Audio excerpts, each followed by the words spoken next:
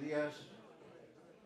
Buenos días a todos. Vamos a comenzar esta segunda, eh, mejor dicho, esta primera jornada del coloquio internacional sobre nobiliaria.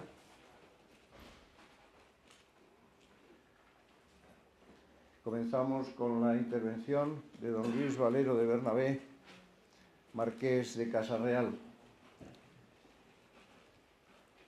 Don Luis es doctor en Historia, licenciado en Ciencias Políticas y Sociales, licenciado en Derecho, licenciado en Dirección de Empresas, funcionario del Cuerpo General Técnico y directivo de una importante empresa multinacional.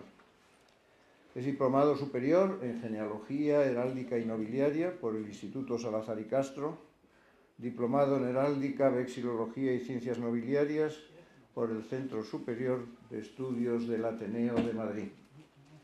Ha sido profesor de Historia en la Universidad Complutense de Madrid, profesor de Nobiliaria de la Fundación Sánchez Albornoz, profesor invitado por the University of New Mexico en Estados Unidos y por la Universidad Moderna de Lisboa, profesor de la Escuela de Nobiliaria Marqués de Avilés, patrono y profesor de Heráldica en la Escuela de Genealogía de la Real Asociación de Hidalgos de España. Es director del Colegio Heráldico de España y de las Indias, pertenece a numerosas academias e instituciones culturales españolas, belgas, italianas e iberoamericanas. Ha publicado 12 libros y más de 200 artículos, ponencias y conferencias en temas relacionados con nuestras ciencias vicepresidente segundo de la Real Asociación de Hidalgos de España y presidente de su Junta de Probanza. Es miembro del Consejo Asesor y del Consejo de Redacción de la Gacetilla de Hidalgos. Don Luis nos va a hablar hoy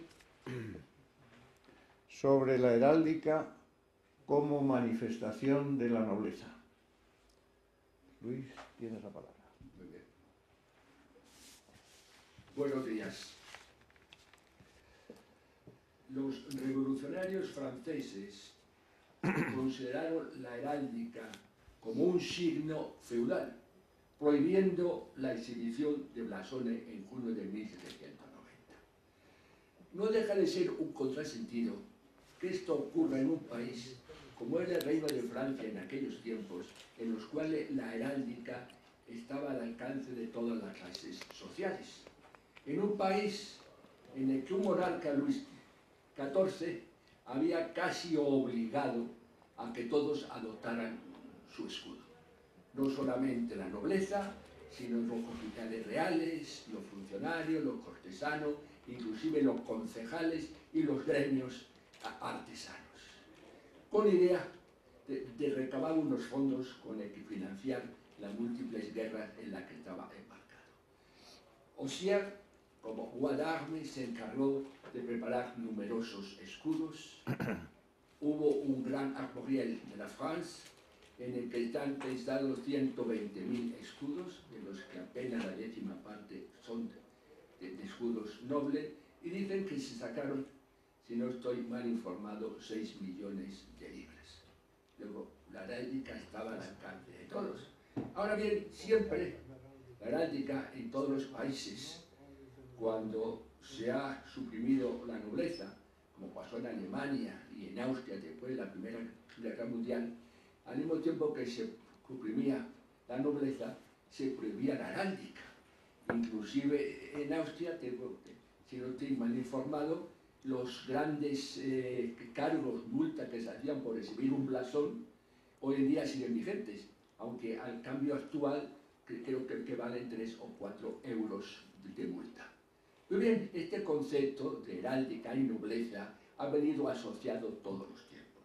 Vamos a tratar de analizar aquí cómo se produjo y cómo, y cómo evolucionó en los diferentes países europeos. Como ustedes todos saben, no me voy a detener, la heráldica surge como una manifestación de los torneos medievales. Tan importante es esto que en aquellos países donde no ha habido torneos, como puede ser Rusia, como puede ser Serbia, como puede ser Bulgaria, tardó muchísimos siglos en desarrollarse la heráldica, sobre todo la heráldica escutiforme. La heráldica desde un principio se consideró un magnífico elemento de identificación del caballero, pero al pasar a los herederos adquirió una nueva dimensión. Además de, identificar, evocaba las glorias del linaje. Era el vínculo de unión entre el tenedor del escudo y el origen, ese primer autor del que descendía el linaje. Junto con el apellido fue el signo de reafirmación de los linajes. En el, se extendió normalmente empezó caballeros, luego príncipes, por toda la nobleza, incluso las mujeres y los clérigos. En el honor nobles, ya que el concepto plebeyo no me gusta, en, los países donde esta burguesía estaba más extendida, como eran los países del norte y de Europa, usaron como identificación unos emblemas, runas geométricos que reciben diferentes nombres bumerques, tangas, y que era una primera heráldica o emblema, podríamos decir, porque su primer fase no fue escutiforme, sino en forma de sello sigilográfica. En el siglo XIV se va a producir la gran evolución que va a afectar mucho a la heráldica. Es lo que es un fragmento renovador, va a recurrir Italia. Surgirá en, Europa, en Italia en el 480. Va a afectar a la religión, habrá un gran cisma religioso. Va a afectar a la cultura, va a afectar a la sociedad. Hasta ahora, hasta entonces, Dios era el centro del universo. A partir de entonces, el centro del universo va a ser el hombre. Va a surgir la burguesía como fuerza potente. Los monarcas van a apoyarse en ella para reafirmar su absolutismo e ir desplazando a los nobles de los centros de poder. La nobleza cada vez más queda relegada a una función ceremonial en la corte y su ejemplo para manifestarse es la heráldica. En el siglo XIV, en Italia, en Perugia, va a surgir un gran autor que es Bartolo de Sassò Ferrato, eh, a él le debemos la iniciación del derecho internacional privado, la organización del derecho canónico, y tiene un libro, Tractatus et Insignis et Armis, publicado en 1755, en el que nos habla por primera vez de la legalización de los blasones. Para él, blasón no es una cosa de nobleza. Cualquiera puede adoptar un blasón, un escudo, sea o no sea noble. Cualquiera puede hacerlo, inclusive puede copiar el que tenga un noble. Lo único que recomienda para evitar problemas, roces, es que no copie al de un noble que vive cerca de él, pero si está un poco más puedes copiarlo perfectamente. Lo único que no puede utilizar son las armas de dignidad. Esto es importante porque sobre eso se va a versar en el tratamiento que se va a dar en Europa al tema de la utilización de la nobleza de, de los no nobles por delante. España en aquellos tiempos eh, estaba todavía en guerra, en guerra contra el invasor musulmán. La guerra no acaba ya hasta 1492. Hasta entonces el esfuerzo bélico hacía que todo estuviera orientado hacia la guerra. Inclusive la burguesía va a ser orientada a que se convierta en nobles y la toma de los caballeros ciudadanos. Pues bueno, surge un tratadista, Ferran Mesía, en su nominario Vero, en 1492, que nos dice que la heráldica son unas marcas de nobleza. Es decir, insiste en ese carácter evocador de una tradición que se encierra en la heráldica y en el profundo simbolismo heráldico. Años más tarde, en la corte de napolitana de Alfonso V, de Aragón y de Nápoles, eh, donde tenemos a uno de los primeros, eh, tenemos al, al Sicilia, que nos va a hablar de la, es decir, de la simbología de los blasones, de los colores. Tenemos también a otro que es Laurencio Valla, que su delibero arbitrio mm, dice, defiende, es un gran polemista, que incluso ataca lo de la donación de Constantino y que se basaba en los derechos de la Iglesia. Yo a decir que la, nueva heráldica es muy distinta de la anterior. La heráldica medieval ha muerto. Ha muerto con el Renacimiento. Los blasones pueden ser usados por todos, porque un blasón no es nada más que un medio decorativo. Pero tiene un segundo constante muy importante, que es un medio de pretensión. Quien adopta un blasón pretende acceder ascender socialmente. Es un poco parecido a lo que hoy día lleva la gente a conseguir títulos falsos o a pertenecer a órdenes ficticias. La eh, burguesía va a tratar de, de unirse a la nobleza. Ahora bien, ¿cómo está pasando? Por ejemplo, en España tenemos varios modelos. En el Reino de Navarra hay una heráldica solariega que pertenece al castillo, al palacio, se llama Cabo de Armería, y no al tenedor. Si en cambio al tenedor, no se puede llevar ese escudo. Ese está grabado en piedra allí. Va a existir también una heráldica territorial. Había los cinco nobles valles en los cuales por razón histórico-política los reyes habían concedido la nobleza colectiva a todos sus habitantes y tenían un escudo colectivo para todos los miembros del valle. A veces cientos de familias usaban el mismo escudo, aunque tuvieran apellidos muy distintos. Luego existía también los reyes, aquellos que noblecían, eh, concedían al mismo tiempo su escudo. Es decir, aquel que no fuera noble no podía usar escudo. Aquel que no tuviera su escudo registrado cuando fuera noble no podía usar escudo y era perseguido penalmente. Aquí tienen ustedes el libro de Armería. Mm, un, un, tema característico de España es que realmente eh, la presentación en los jamoriales es siempre muy sencilla. Los, se presenta únicamente el escudo, sin tantos adornos externos como en otros armoriales. pasar? Bien, en el, reino de Aragón, usar la heráldica era privativo de la fiscal real tenía encargo de todo aquel que exhibiera la heráldica, bien en la fachada de su casa o bien en sus vestimentas, perseguirlo. Pero perseguirlo porque no era noble, no le pedía de dónde sacaba el escudo, porque era la libre adopción. Ahora bien, había un juicio especialmente, llamado juicio de, de jactancia ante la Corte de Justicia, que ya, usted demuestra que es noble. Y si no es noble, ese escudo lo tuvo mi padre, sí, pero no lo exhibió. Usted no puede exhibirlo. Si no es noble, pite el, el, escudo y pague la sanción. En cambio, en el vecino reino de Castilla, la heráldica fue libre, totalmente libre y totalmente abierta. Hubo reyes de armas, pero lo hicieron. En el siglo XVI, cuando cometa el sistema de probanzas, eh, que todos que, que, probar su nobleza para acceder a cualquier orden militar, al ejército, a cualquier cargo público, eh, había un juicio, y el juicio es los comisarios al lugar de origen, buscaban su casa, entonces miraban cómo vivía su antepasado y preguntaban a su vecino. Todos empiezan a, poner en la fachada de su casa complicados escudos. Si pasan ustedes todo por parte de, del norte de España, Cantabria, Galicia, el País Vasco, las grandes labras de piedra en la fachada. ¿Por qué? Porque si van los comisarios vieron que tenían un bonito escudo. Este es un caso de pretencioso.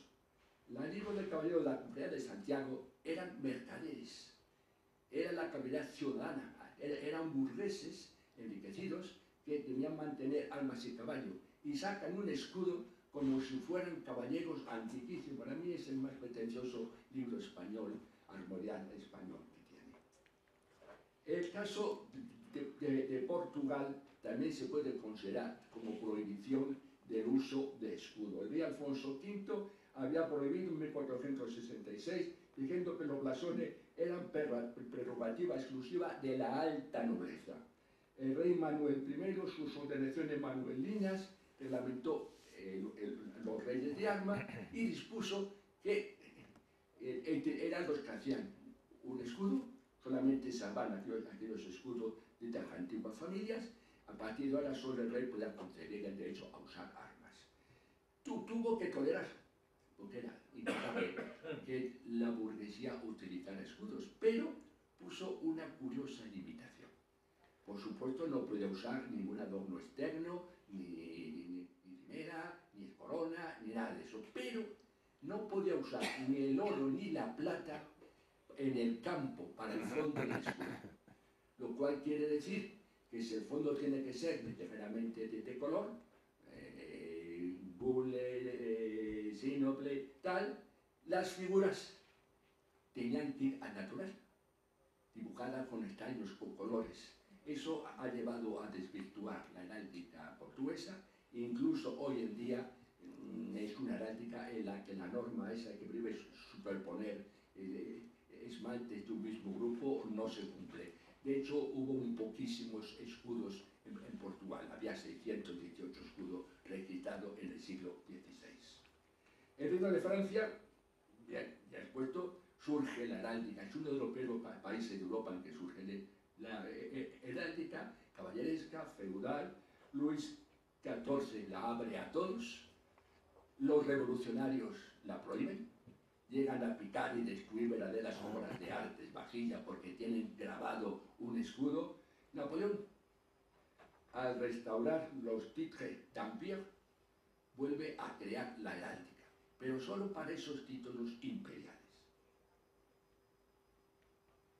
Este es eh, el Amoria de France, muy ustedes también, bastante sencilla, la presentación de los. La heráldica napoleónica es una heráldica tremendamente regulada.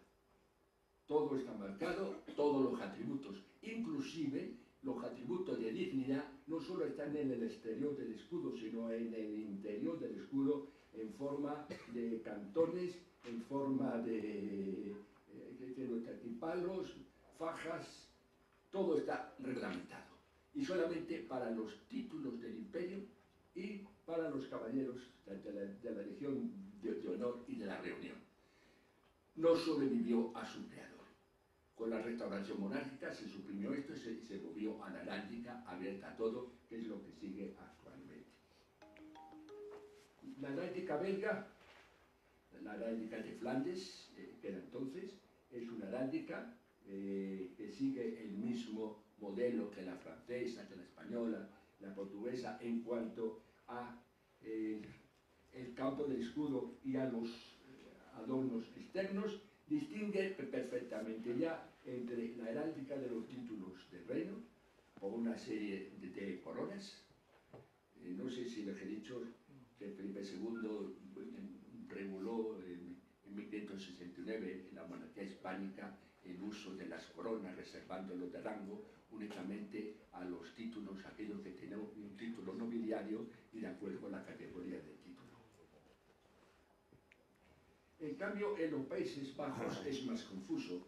Cuando las provincias unidas se separan de la monarquía hispánica, en 1579 eh, se desregula la heráldica completamente, ya no se van a nombrar más reyes de armas, hasta que en 1815, tras la fase napoleónica, se crea el reino de los Países Bajos y de Bélgica, pero exigen, existen eh, dos clases de nobleza. La nobleza de cuño feudal, con antiguos blasones, y, y el patriciado, que son las principales familias burguesas que monopolizan las instituciones de gobierno y los ayuntamientos de la República.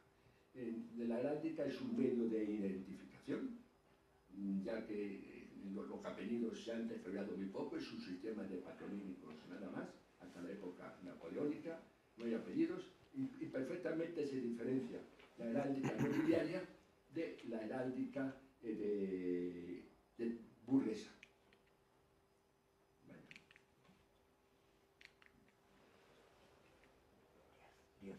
bueno, vamos a ver. Voy pasando la, la, heráldica suiza sigue eh, eh, el, mismo modelo. La, la, inglesa hay un sistema, está herméticamente controlada por la corona hasta la fecha, se diferencia perfectamente por medio de los atributos quienes pueden usarla, inclusive el hecho de ser, de ser admisible de utilizar un escudo supone ya una cierta situación eh, nobiliaria o protonobiliaria, como se dice. La heráldica escocesa es una heráldica clánica, que el uso de los escudos están, eh, el escudo del clan solo puede usarlo el jefe del clan junto con el, eh, con el varón, con el sombrero y el pendón baronial, los hijos pueden usarlo con una serie de lisuras y el resto del clan únicamente en la parte inferior con la insignia del clan. Irlanda eh, la imponen los normandos, la heráldica en modo inglés, durante la llegada de Normando eh, la edad de y hay un rey de armas nombrado por los ingleses con la independencia de la República de Irlanda se recuperan los antiguos sellos cláricos y se, se abandonan todos los elementos externos propios de la heráldica Británica. El otro modelo es el germánico, es una gran cantidad, es una hidráulica muy vistosa con gran cantidad de cimeras, y en ellas se usan tantas cimeras como eh, feudos se tiene. Se llega al extremo de la heráldica de los príncipes y llegan a tener hasta 10 cimeras. La, la heráldica austriaca, Austria perteneció al Sacro Imperio Romano Germánico hasta su disolución en las guerras napoleónicas y, su propia. Los húngaros tienen una heráldica especial, pues es una heráldica especialmente guerrera, es una heráldica nobiliaria, hay unos libros de registro de esa heráldica, los reyes ennoblecen muchísima familia o título individual o colectivo para compensar las pérdidas habidas en la guerra contra el Islam.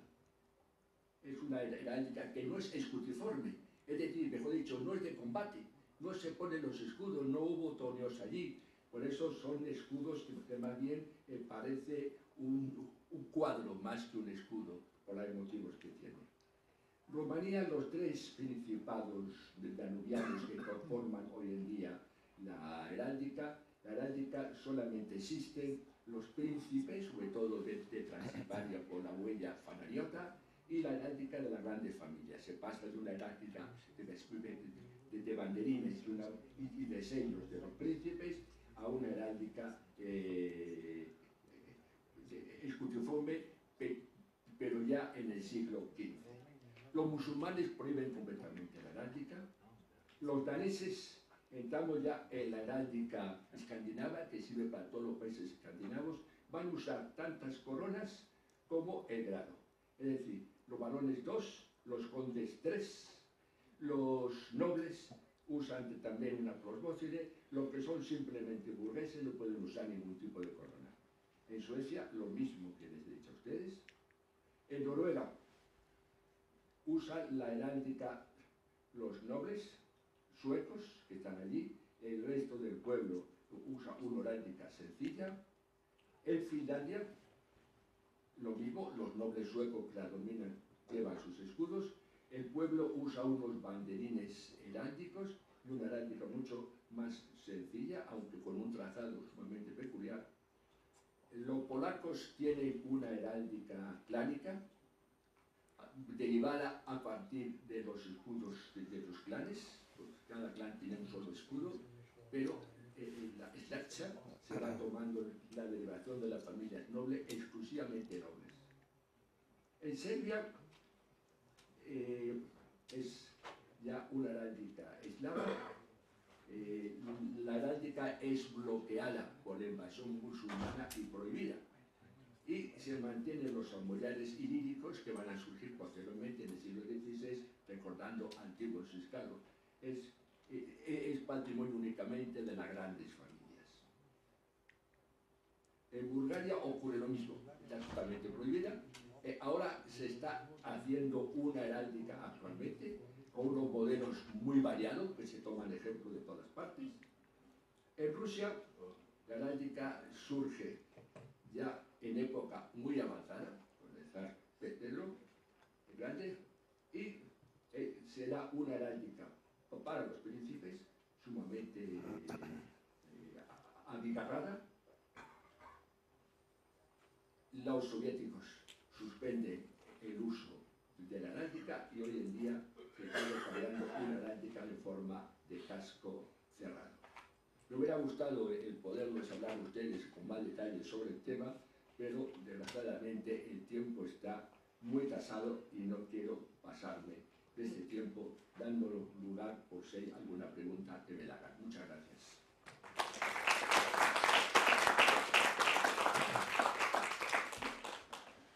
Muchas gracias, Luis. Eh, ¿Quiere hacer alguna pregunta, hacer alguna cuestión? Michel Popov. Je vais essayer de parler lentement. Merci d'abord pour ce vaste panorama. Je voudrais souligner quelques points. Au début du XVIe siècle, au début du XVIe siècle en France, on a, fait des statistiques sur l'appartenance sociale des porteurs d'armoiries et on arrive, grosso modo, hein, parce qu'on ne peut pas être toujours sûr du résultat, mais que les armoiries non nobles, déjà donc avant le grand armorial imposé fiscalement par Louis XIV, les armoiries non nobles, déjà en France, représentent 60% de l'ensemble. Donc les armoiries nobles sont de 40%, et ceci est au fond normal, dans la mesure où en France, les armoiries ont toujours été de libre adoption et que la seule limite juridique au port d'armoirie, c'était d'être un homme libre. Ça c'est un premier point qui explique ceci, excusez-moi. Euh, si nous allons dans le nord de l'Italie, en Toscane par exemple, ce pourcentage est encore supérieur. On arrive à peu près à 75% en Toscane d'armoiries non nobles pour, euh, disons, 25% d'armoiries nobles. Cependant, il convient de souligner qu'il est extrêmement délicat de faire en Toscane la différence entre familles nobles et familles non nobles. Parce que c'est une affaire de chronologie. À la limite, les Medici, si on les prend au XIIIe siècle, sont-ils nobles? La réponse n'est pas aussi évidente que cela peut paraître à première vue. Euh, un deuxième point que je tenais à souligner, vous avez parlé de l'origine des armoiries liées au tournoi. Ce qui est vrai, mais ce qu'il faut savoir, c'est que là, nous nous situons au tout début de l'apparition des armoiries et que les tournois ne sont pas la rencontre de deux chevaliers rompant les lances, mais c'est une véritable mêlée, ces deux équipes qui font une joute sur un territoire qui correspond généralement aux limites d'une paroisse, d'une ou deux paroisses. Ce sont souvent deux équipes de 50 à 60 chevaliers qui se battent, disons amicalement, mais enfin quelquefois il y a des morts, mais il a fallu quand même distinguer les équipes, et c'est une, des causes de l'apparition des armoiries, disons aux alentours de 1050, 1066, 1100. Les limites sont extrêmement vagues, mais là nous nous situons entre la, euh, disons la Normandie et le sud-est de l'Angleterre. Dernier point, et j'arrête, euh, c'est au sujet de l'héraldique napoléonienne. Bon, tout le monde la connaît, on ne va pas insister, mais il faut savoir que déjà, cette tentation d'uniformisation des armoiries, suivant le rang ou suivant le métier ou suivant autre chose, apparaît dès 1360 dans un armorial conservé à la Bibliothèque nationale sur les hommages de Clermont en, en. C'est un exemple intéressant en ce sens que il y a la liste de tous les fiefs et de ceux qui tiennent les fiefs. Il y a donc toutes les grandes familles, bien sûr, mais il y a aussi de tout petits personnages, des bûcherons, des forgerons et autres, à qui on attribue systématiquement des armoiries avec des meubles en fonction de la, leur spécificité. Voilà, c'est quelque chose que je voulais souligner. Devant ce riche panorama, on ne peut pas répondre à toutes les questions que vous posez, Alain. Merci. Merci.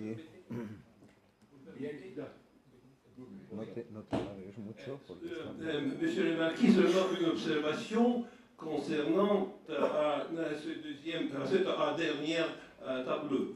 Euh, ici, vous avez deux familles, deux familles qui n'existent pas, comme des Koucha et euh, Baron de ce- c'est pas, pas la, noblesse russe, c'est probablement, ça n'existe pas absolument, peut-être que titre imaginaire. Les armoiries russes sont assez euh, formalisées et euh, depuis l'époque du Pierre le Grand, euh, il existe, on avait interdit aux personnes qui n'appartiennent pas à la noblesse d'utiliser les armoiries. Aujourd'hui, naturellement, quand les reliques euh, des familles n'existent pas formellement en Fédération de Russie, il y a beaucoup de, euh, personnes qui euh, euh, descendent des armoiries euh, à la mode nobiliaire ou non, mais parfois on peut trouver dans l'Internet quelques images qui, ne sont pas historiques. C'est pourquoi si vous avez besoin, je serai heureux de vous donner quelques autres exemples. Et, ce que concerne les armoiries, ah ben, ce sont, c'est pas le type utilisé d'habitude dans l'héraldique euh, russe. Euh, D'habitude, les nobles euh, utilisent les, euh, euh, euh, les, euh, les casques comme, comme celui dessiné au- au- à- aux armoiries de ce prétendu baron. La couronne, la couronne est utilisée à presque toujours, et c'est la couronne euh, nobiliaire russe qui, qui est la même que la, nobiliaire euh, allemande. Et ce, euh, ce type, ce type euh, probablement, une selon les versions euh, contemporaines de quelques armoiries historiques. C'est pourquoi, si on présente les radiques de notre pays, nous serons intéressés d'avoir les exemples plus, euh, plus historiques. Mais euh, je vous remercie euh, euh, pour votre communication qui est très importante aussi pour moi, car pour, euh, le problème que vous posez, c'est que l'héraldique, c'est quand même une, manifestation de la noblesse. C'est une, euh, observation très importante aussi pour euh, préciser la situation de quelques familles appartenant à la noblesse russe. Merci, merci, monsieur le marquis, c'est très intéressant. Merci.